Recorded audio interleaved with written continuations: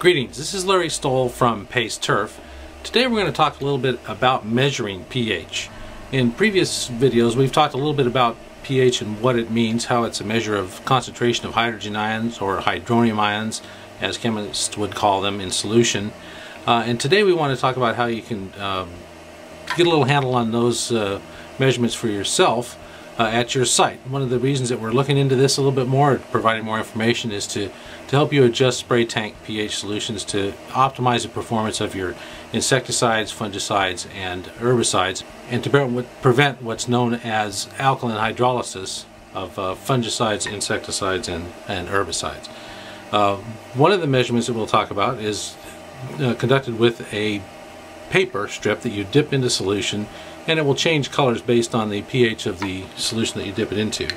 Uh, the other that we talked about a little bit previously is the uh, this is a Spectrum Technologies IQ 150 pH meter. It's a very nice uh, pH meter and the feature that's particularly interesting about it is it has this solid state probe and the important component of that solid state probe is that it uh, is not it's not that it's indestructible because it's not indestructible, but it's very durable. It's stored dry. It doesn't require any particular solutions uh, to maintain it. A standard pH electrode would have uh, a reference electrode and a glass electrode that you would stick into solution. There are some other ones that are a little bit better than that, uh, but in in most cases, those other types of electrodes, the non-solid state ones, uh, are more difficult to maintain. This one is pretty easy. Uh, this is the only electrode or only probe that I've seen so far that I would recommend for use on a golf course uh, for uh, monitoring spray tank solutions. This this pH meter unfortunately is quite expensive uh, so it'd probably, probably be worth trying out some uh, pH papers to start with but uh, once you get used to monitoring pH or altering the pH of your spray tank I think you're going to want a little bit more accurate measurement and you're going to want to use something like uh, a good pH meter that can uh, hold up for a number of years and uh, get a little bit more value out of those uh, pesticide applications that you're making. Let's take a look at uh, using the pH paper and the meter to see um, how they work out for you. Well, you can see the meter is reading a pH of 8.1 in the background. This is just tap water uh, in the San Diego area, which is probably primarily Colorado River water right now. And with the pH papers, you can see you have different colors of indication for pH. And we rip off about an inch and a half of the pH paper and just dip it right into the uh, into the water. If it was a spray tank water, this would be before you add any products to it. And we'll compare the pH paper reading to the reading that we have on the pH meter.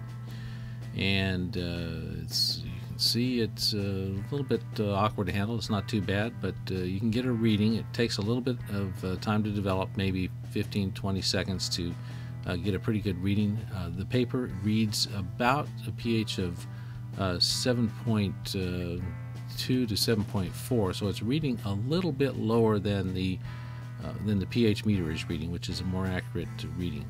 So that just gives you an idea of how you would use the the pH papers to get an idea of the pH of the spray tank before you make any adjustments.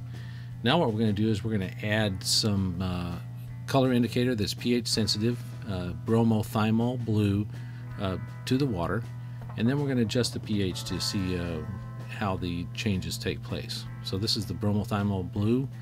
Uh, we're going to mix this up a little bit. Uh, we're starting out at a pH around 8, 8.1, and then we're going to adjust the pH down using vinegar, which is a about a 4% uh, uh, acetic acid solution. Uh, so now we got a good uh, good mix. You can see the blue color uh, of the water with the indicator in there, the pH being 8.2 uh, on the pH meter. And the vinegar source we're going to use, we just picked up at, at Ralph's. It's just white distilled white vinegar. as I mentioned, about 4% acetic acid and we're going to just drop that in with a pipette and we're going to measure the number of cc's or portions of cc's it goes in at a tenth of a cc at a time. And we add a few tenths of a cc uh, in and then we'll mix it up uh, again to uh, see how the pH changes with the vinegar. And you see it takes a second for the pH to change as the acetic acid neutralizes some of the bicarbonates uh, that are in the water and you can see the solution is turning into a yellow color as it comes down through pH of 7 and then when we get uh, down to our target, uh, we'll have a pretty good idea of uh, how much vinegar we'd need to add to our spray tank to pull the pH uh, down to about 6.5 or a little bit below uh, 6.5. And in this case, it took about uh, 0.8 cc's of vinegar to bring the pH down to 6.3, which is good target.